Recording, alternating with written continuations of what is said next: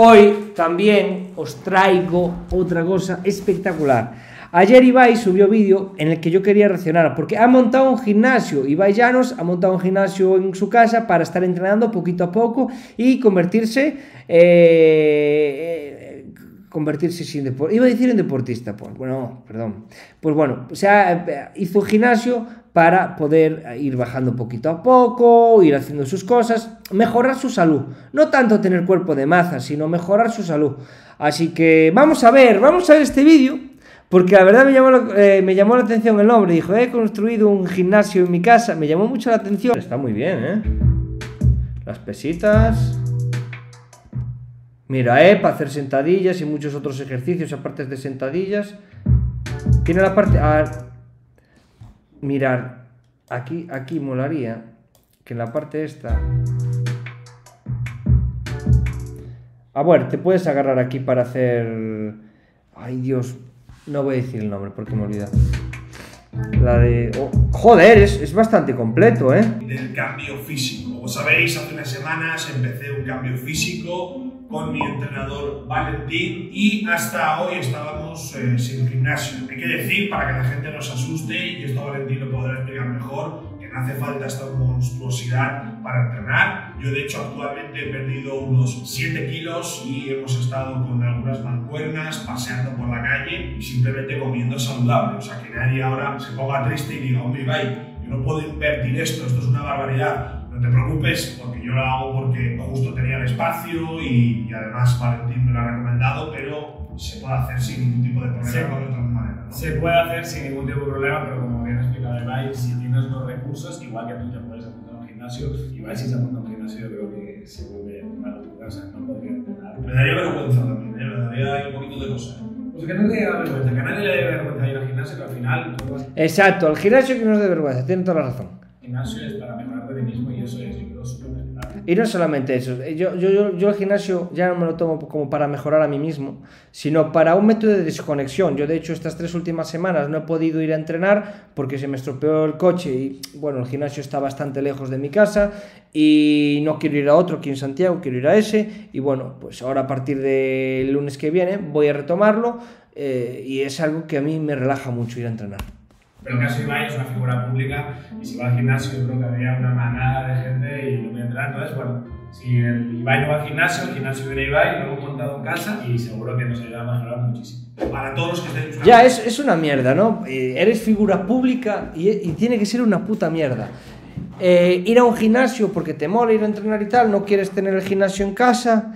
Y, y que, joder, te esté molestando todo el rato, ya no haces bien tus ejercicios, no sé qué. Es un coñazo, joder físico y buscáis también un poquito de motivación. A mí a veces siempre me ha hecho falta. Deciros que yo ahora mismo la verdad que estoy muy bien. No estoy buscando, como siempre digo, ningún récord de nada, ni perder 50 kilos el más rápido del mundo, el más rápido de España. Simplemente estoy adquiriendo hábitos saludables. Intento cada día tener mi rutina y mi ejercicio con Valen, cuidar mi alimentación, descansar bien y poquito más. Estoy pensando un poco más en mí mismo. Generalmente, aunque tenga que hacer muchas cosas, siempre estoy encontrando el hueco para hacer algo, aunque sea pasear una hora, una hora y media. Pero si un día que no puedo o dos que no puedo, al tercer día vuelvo. Por eso creo de verdad que ojalá consigáis esta mentalidad y que a mí también me dure, porque no sé si os sentís identificados, a mí me pasaba. Antes me saltaba un día la dieta, dos días, tres días y digo, pues ya no quiero volver a hacer nada nunca y volvía durante meses a hacer lo que quisiera. A mí eso no me pasa. Yo soy todo lo contrario. Yo me salto tres días la dieta, me la tengo saltado dos, tres, cuatro o incluso una semana, me siento mal. Eh, no sé si es porque yo el proceso que tuve de adelgazamiento fue muy, muy largo. Eh, yo no adelgacé de repente, sino fui con un proceso muy largo. Yo tardé tres años en adelgazar hasta los 68 kilos, después engordé, lógicamente no estoy gordito, pero eh, yo sí que noto en el cuerpo que cuando paso varios días sin comer limpio, mi cuerpo ya lo noto mal. Mal en el sentido de no tengo el estómago vacío, lo tengo aquí en la garganta, no me encuentro nada bien. Es por ejemplo, ayer me comí unas dos bolsas de palomitas mientras me vi ahí una, una serie y después me tomé un bol de cereales y después unas galletas. Sí, me pasé, me pasé, lo reconozco. Ya hoy me levanté mal, me levanté mal aparte de que me levanté mal porque me empaché como, un gordo, pero me levanté mal en el sentido de que ya tengo el estómago mal todo el día, no me encuentro bien, estoy... Ah. Aquí yo creo que he tenido ese cambio de mentalidad. Puedo fallar un día o dos o un fin de semana, tener más excesos o lo que sea, da igual, el lunes vuelvo e intento hacer siempre mi rutina. Estoy totalmente de acuerdo con él y estoy muy feliz de ver ese cambio de conciencia que ha tenido y es que es cierto, esto no es un plan de entrenamiento de tres meses, esto no es una dieta de tres meses, esto es crear unos hábitos tanto de entrenamiento como nutricionales que dure para el resto de la vida. Es la única manera de triunfar algo que tú puedas adherencia y que sea realístico. Y lo más importante, que lo disfrutes. Entonces esto es lo que estamos trabajando, tanto el entrenamiento, obviamente. A mí no me gusta tanto el tema de las pesas, me gusta más el boxeo o jugar deportes de, en equipo, pero algo de pesas sí que lo intento meter alguna vez para... Porque no sé, me, siento que también hay que meterle algo de pesas al cuerpo. ¡Unos hierros, hermano! No, hermano, no, unos hierros, bro. Es para disfrutarlo, para que sea un momento, su momento de desconexión. Incluso no se lleva el teléfono, no le dejo llevarse el teléfono para que sea un momento de simplemente disfrutar del entorno, hablar. Y luego en la parte nutricional, que, bueno, un saludo Julia, que nos ayuda muchísimo, que al final es un, un tema de no dietas, sino de comer alimentos que sacien, que disfruten y que tengan una composición nutricional correcta. Con esto va a ganar mucha salud. Un KFC, una hamburguesita. Uf, qué rico. Peso y va a ser una persona mucho más feliz, que es el, el objetivo.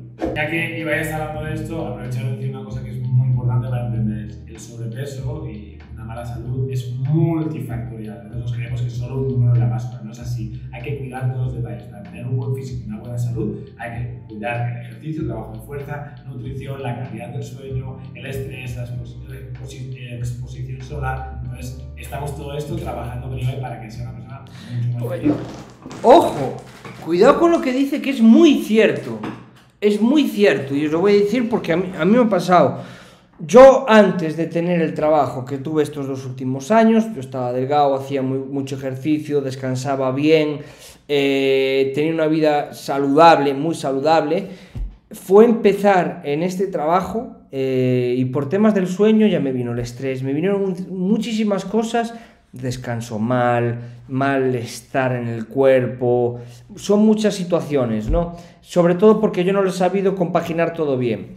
Y a día de hoy ya empiezo todo a equilibrarlo un poquito mejor, pero ha sido una situación de dos años en la que no estaba comprendiendo cómo poder estar todo correcto, llevando la misma dieta. El problema que tenía yo con el trabajo me creaba una ansiedad y me pasa mucho que me entra una ansiedad que es como si tuviera el estómago vacío y tengo mucha hambre todo el rato, que en verdad tengo que estar saciado porque de hecho, yo un día me encabroné y dije, a tomar por culo, bebo solo agua. Me vacié dos, dos botellas de agua, me bebí 3, 4 litros y dije, hostia, tío, ¿cómo puede ser esto y seguir teniendo hambre?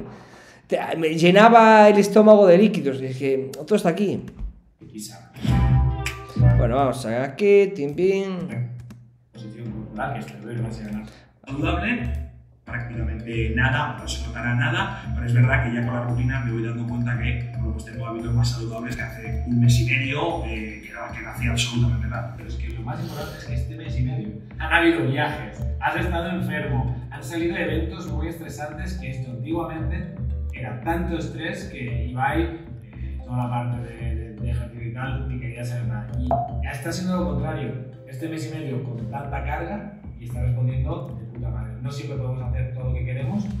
Una paciencia los entrenadores personales de cojones, ¿eh? De cojones. Bueno, vimos ahora un poquito lo de lo del Ibai. Tampoco quería verlo todo. Solamente mirar el gimnasio que me llamó mucho la atención. Me llamó también mucho la atención el, lo que, todo lo que han dicho. Una buena reflexión. Y bueno, pues eso, pues eso. Pues ahí lo tenemos, pues ahí lo tenemos. Y nada, chicos, pues... Pues poquito más que esperar. YouTube y también el Twitch. Sígueme en todas mis redes sociales.